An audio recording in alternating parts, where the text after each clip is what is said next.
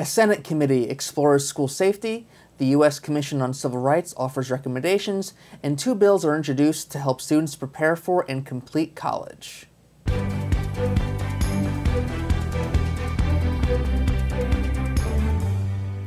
Hi, I'm Phillip Lovell, and I'm joined by Anne Hyslop. Let's begin with school safety. Anne?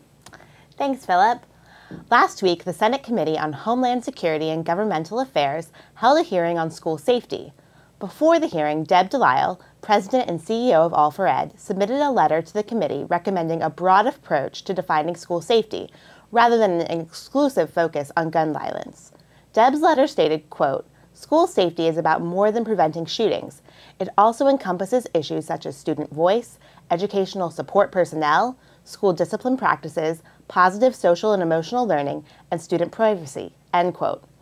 Each, each witness at the hearing contended the federal government could do more to improve school safety, including witnesses representing victims of the shooting at Marjory Stoneman Douglas High School in Parkland, Florida. One of those witnesses was Max Schachter, the father of a student killed at Parkland and founder and CEO of Safe Schools for Alex. He urged greater transparency and data regarding school safety. Here's a clip. On college campuses, the Federal Clery Act imposes financial penalties for inaccurate reporting of, co- of campus crime statistics. But in K through 12, there is no such requirement. The result is that when you go online to look at school ratings, many of them, including Marjory Stoneman Douglas, have an A rating. Academics are important, but if the children do not come home to their families and staff don't come home, nothing else matters. That A rating that Marjory Stoneman Douglas has has nothing to do with safety of that institution. There's no school safety rating system currently to inform parents and teachers of whether or not that's their school has implemented the best practices to prevent and mitigate the number of casualties during the next school attack. Schools should not be able to get an A rating like Marjory Stoneman Douglas did if they never held a code red drill for the entire school year. Also, last week, the U.S. Commission on Civil Rights released a report that urged the Trump administration to issue new school discipline guidance to states and districts. The report found that students of color and students with disabilities are disproportionately disciplined in school. It also found that 1.6 million students attend a school with a sworn law enforcement officer, but not a school counselor. In 2014, the Obama administration issued guidance to address disparities in school discipline, but the Trump administration rescinded the guidance, citing that it posed a threat to school safety. Scrapping the guidance was a recommendation of the Federal Commission on School Safety, which was created after the February 2018 school shooting in Parkland, Florida.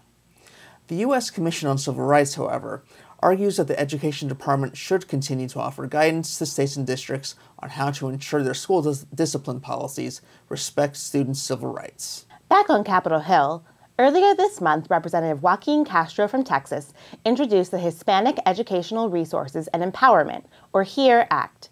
It authorizes a 150 million grant program to support collaboration between Hispanic serving institutions or HSIs and Hispanic serving school districts to improve college readiness for Hispanic youth.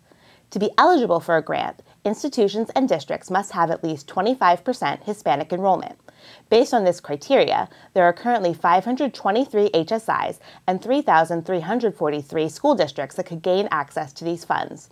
Focusing on these institutions and school districts is critical given large achievement gaps in high school and college attainment for Hispanic students. Also, Representative Andy Levin from Michigan and Senator Tammy Baldwin from Wisconsin introduced the America's College Promise Act to improve college affordability and increase degree attainment. It creates a new partnership between the federal government and states and Indian tribes to provide two years of tuition free enrollment in community or technical college programs that lead to a degree or industry recognized credential. To access these new federal funds, states would need to align their high school graduation requirements with entrance requirements for credit bearing coursework in community college. States would also need to ensure their programs offer academic credits that are fully transferable to four year institutions in the state. Finally, the bill establishes a new grant program to help minority serving institutions cover a significant portion of tuition and fees for the first two years of attendance for students from low income families. That's all for today. For an email alert when the next federal flash is available, email us at alliance at all4ed.org. Thanks for watching. Federal Flash is the Alliance for Excellent Education's video series on important developments in education policy in Washington, D.C.